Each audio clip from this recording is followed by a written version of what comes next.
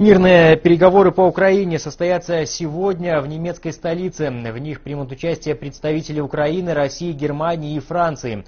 Как ожидается, стороны обсудят детали воплощения Минского меморандума.